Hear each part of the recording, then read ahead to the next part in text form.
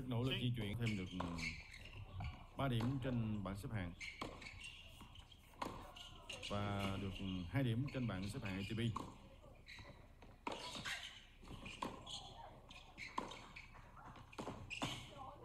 Rất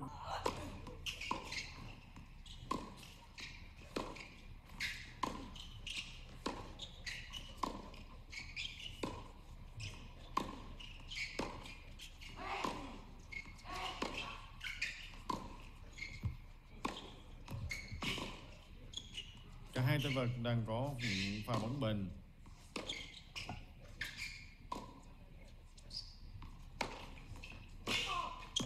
Rất tốt cho mình Đức.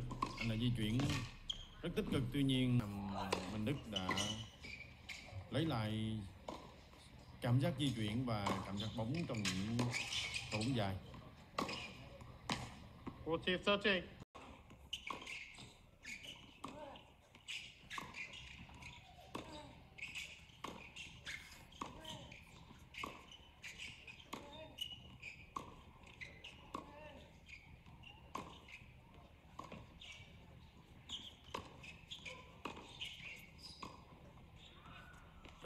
Bậc thì ừ, thứ hạng ITF ở ừ.